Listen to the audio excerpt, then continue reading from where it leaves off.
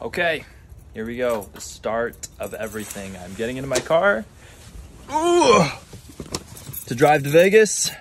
I'm gonna be staying at one of my best friend's house who lives in Vegas, and then the last night I'll be staying at the Bellagio, camping out with Greg Goes All In. I invited him over because he didn't have a place to crash for the first night.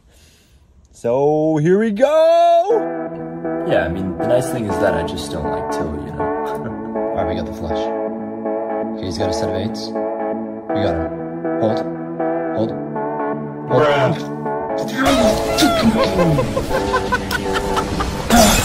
Tell him he's got a lot of class, and it's all low. This is the pinnacle of poker, the World Series.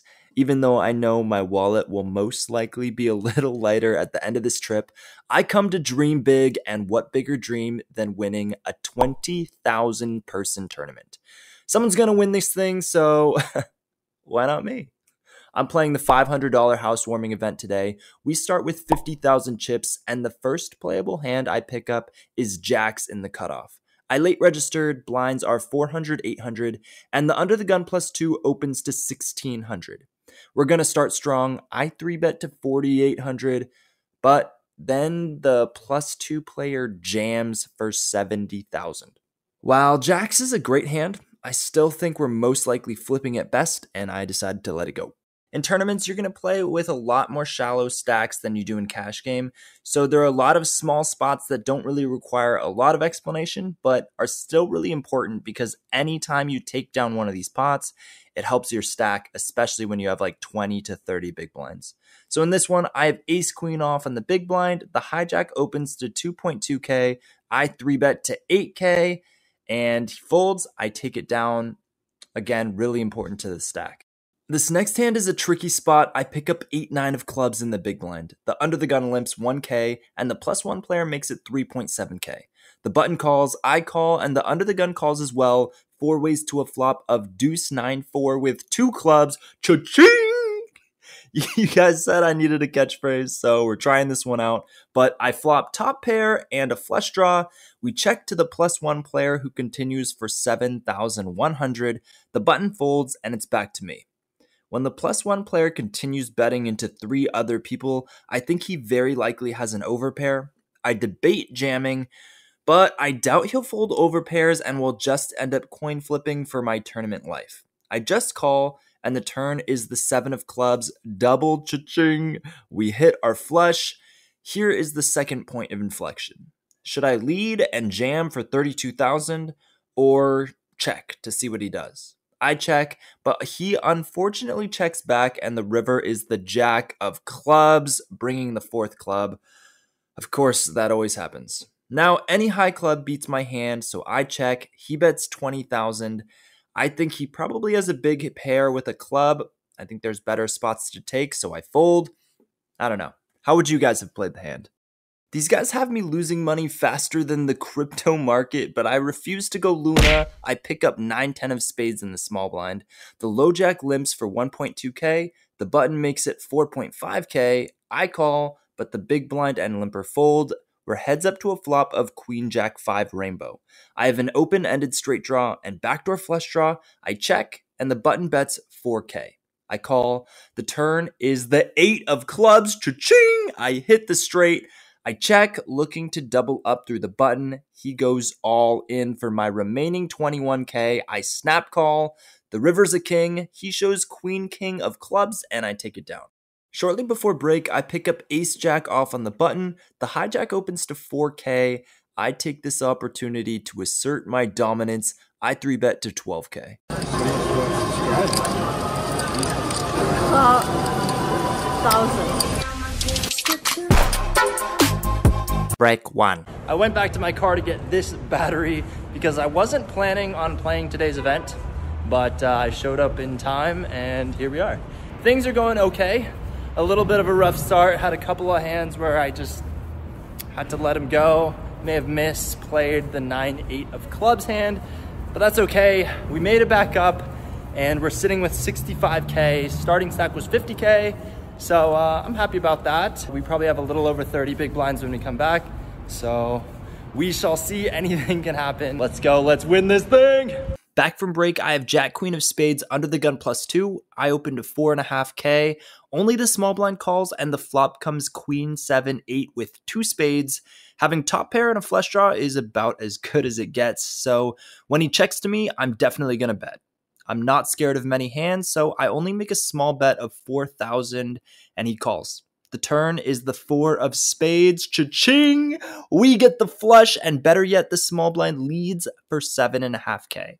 It's definitely not enough. I raise to 21K, and he calls. The river is an offsuit five, and now the small blind puts me all in for 36 and a half thousand.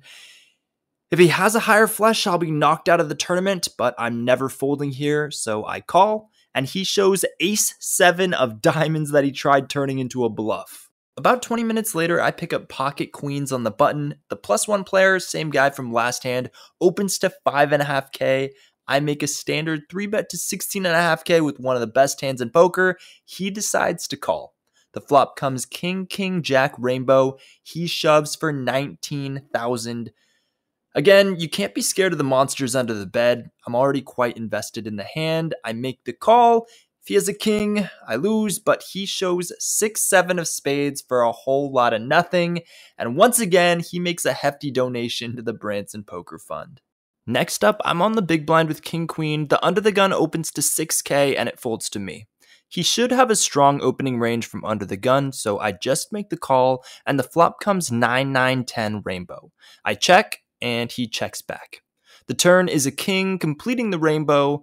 On this board, I'm either way ahead or way behind, so given the fact I'm out of position, I check, and my opponent bets 7k. I make the call. The river is an ace, terrible card. I check, and he now bets 16,000. Here's why the ace is a terrible river. This is roughly what his under the gun range should look like. We lose to pretty much every one of these hands except for some of the tens and lower pocket pairs, but he should be checking those back a good amount of the time. If he does happen to have a weaker king, we now chop to it, so I just let this one go and move on. Break two. What's going on guys? We're on break number two. I'm sitting on a little over 200,000, which is really good right now. So hopefully we continue to run it up and back to the hands. We are back with 6 7 off in the small blind. It folds to me, and I decide to play aggressively as the big stack, try to get the snowball running, and I raise to 8k. The big blind defends, and the flop comes Jack 5 8 rainbow. All things considered, this is a good flop for 6 7. I make a small C bet of 5k. He calls, and the turn is a 2. Now I'm going to try to put pressure on his 5s, 8s, or pocket pairs that he might have called a small C bet on the flop with. I bet 16,000, but he goes all in for his remaining 55k, and I just don't have enough equity to call, so I fold.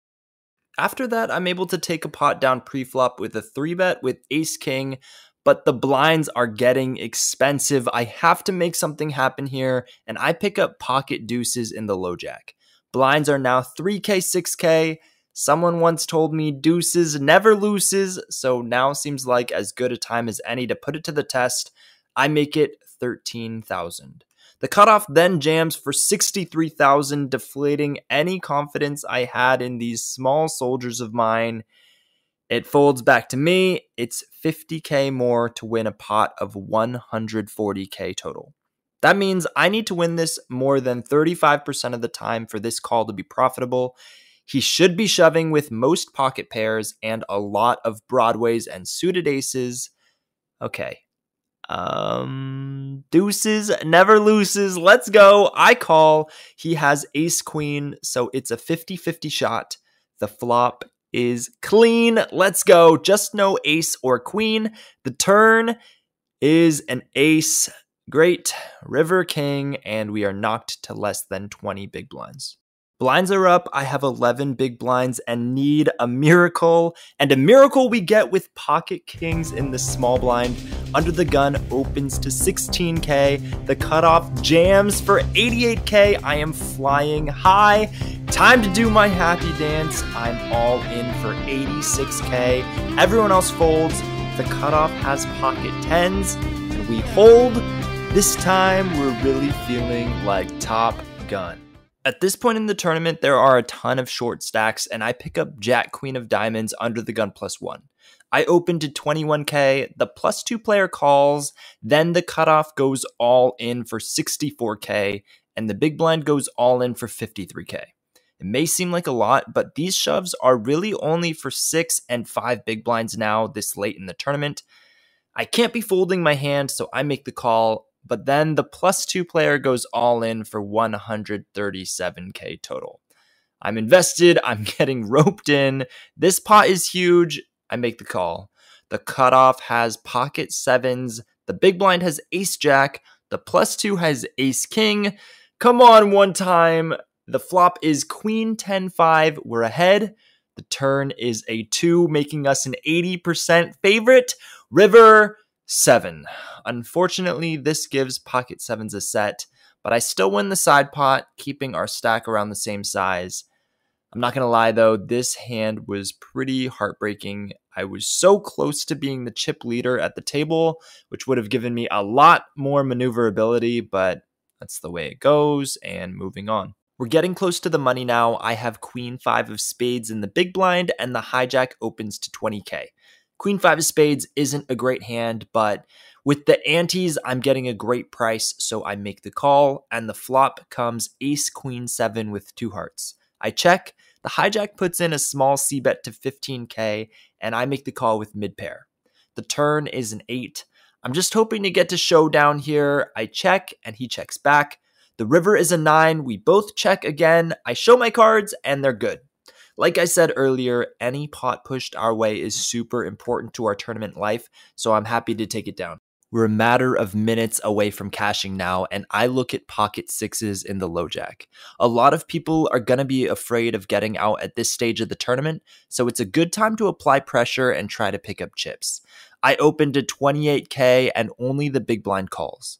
The flop comes ace 7 deuce with two hearts, I should have an ace a lot more than my opponent here. So when the big blind checks, I c bet 25k.